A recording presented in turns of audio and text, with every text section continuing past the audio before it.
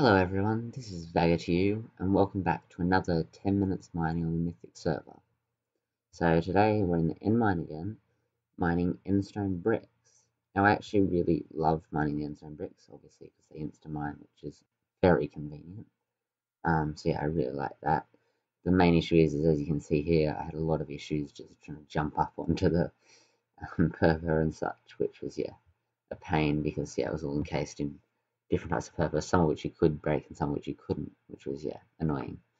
But despite that and a few delays, um, we got a pretty decent amount. So we got 2,439 Endstone bricks for a total of $7,317, which is pretty good. Like, I love the Insta mine on them. Um, so yeah, it's pretty awesome. Um, but they might have changed since I last did this, so who knows seem to change a lot of the Instamind things to make them more difficult.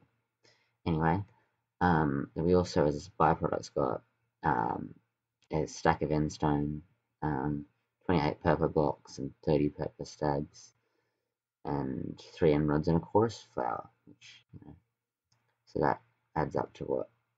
Just over $4,000, which, yeah, it's what you expect from a mine. In the end mine, you know, it's not the mine you intuitively go to, so I'm pretty happy with that again, uh, it's not like the most profitable one. Like I don't know something. I can't even think sand used to be really profitable. I think they're like half the price now.